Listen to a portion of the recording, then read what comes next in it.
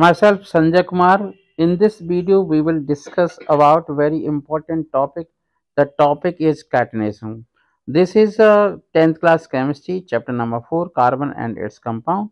Um, before going to discuss catenation, we have to tell that uh, I, I would like to tell you that uh, the atomic number of carbon is uh, 6 and its electronic configuration is 2 comma 4 it need a 4 electron it means that carbon always share 4 electron it means show a tetravalency this is a first one versatile nature of carbon another one versatile nature of carbon is catenation the remarkable property of carbon is catenation so carbon to form bonds with itself and give rise to a single large structure or chain okay definition is that uh, the property of direct bonding between atoms of same element to form a chain.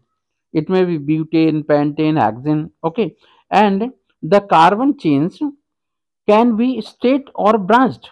Straight means normal butane normal pentane normal hexane. Branch means isobutane isobentane isohexane etc branch forming large number of molecules and also it may be uh, possible that the carbon uh, arrange in a circular man manner and form a closed chain compound like cyclopropane, cyclobutane and cyclohexane.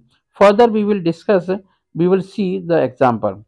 So the key points of catenation are large number of carbon compounds are formed by catenation the joining of carbon atoms together to form straight or branch chains of atoms or uh, ring compounds.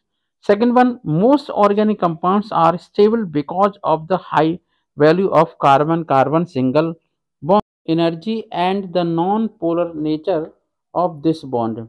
Hybridization of S and P orbital result in the formation of orbital with a mixed character hybridization may be sp2 sp3 sp okay resonance is where the structure of a compound is a single form which is in a between two or more structure तो ये आपके कुछ properties हैं, जो carbon की versatile nature को follow करती हैं और वर्सटाइल नेचर में केवल दो इंपॉर्टेंट पॉइंट आते हैं, वो हैं आपके tetravalency of carbon and catenation tetravalency में चार बॉन्ड मतलब आपको केवल कार्बन के चार बॉन्ड फॉलो करने आपको बॉन्ड स्ट्रक्चर बनाने में कोई दिक्कत नहीं आई। अब हम एग्जांपल देखते हैं कैटिनेशन के।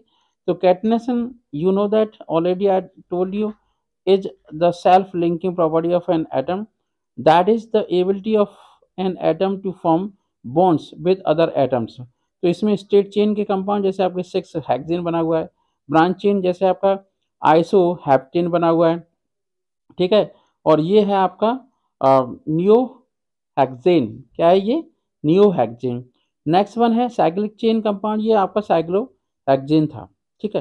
कैटनेशन इन कार्बन को हम और एग्जांपल से देखते हैं। जैसे ब्रांच चेन है लीनियर चेन है और आपका रिंग चेन है। पहली वाली रिंग चेन साइक्लोपेपन है, दूसरे साइक्लोपेंटेन है, तीसरी है साइक्लो हेक्जेन ठीक है? और एक और एग्जांपल देख लेते हैं। Examples of catenation property are propane butane open chain compound है। Cyclobutane is a close chain अब ये मैंने चार और पाँच एग्जांपल बता दिए। I hope you understand what is actually catenation self linking property of carbon atom to form open chain compound branch chain compound और साइक्लिक कंपाउंड यहाँ पर कंपाउंड्स जो दिखाई दे रहे हैं उनमें सिंगल बॉन्ड डबल बॉन्ड और ट्रिपल बॉन्ड भी दिखाई दे रहे हैं। फ़र्स्ट जो आपका प्रोपीन है, उसमें सिंगल बॉन्ड तो है, उसी के साथ साथ डबल बॉन्ड भी है कार्बन कार्बन के बीच में। दूसरा आपका इथाइन है, उसमें कार्बन कार्बन ट्रिपल बॉन्ड है ट्रिपल कोबर